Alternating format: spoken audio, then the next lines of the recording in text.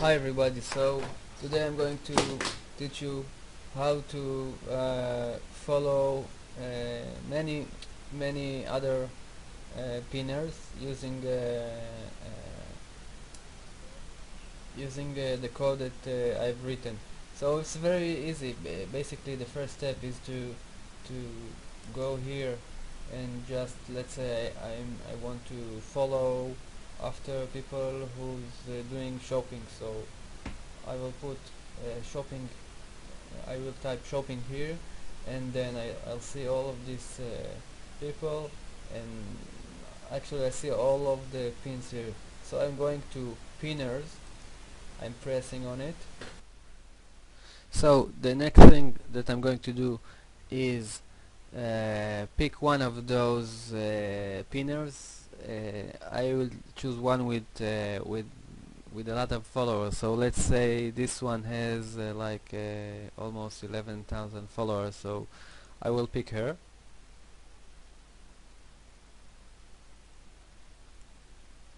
And now I'm going to the followers. Okay here are the followers and then click on it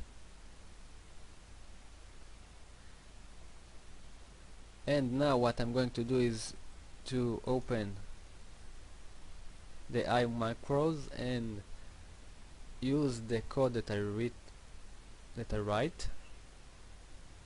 I will use the code that I write. Here it is here. It's called I call it Pinterest. Later on I'll show you how to install it. I set it up for uh, let's see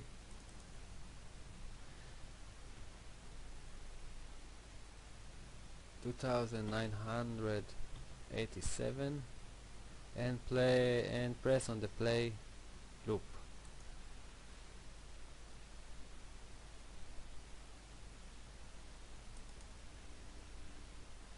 Okay so let's press on the play loop and you can see the code is running. Now uh, it doesn't really matter what uh, what is the code what's important is that it's doing the job that it's need to do which is to follow after each one of these people right here. So it will do it until the until the Pinterest uh, will tell you that it cannot do it anymore for today. So you just click on stop and that's it you have an auto follower for Pinterest it will do all the work for you. Okay thank you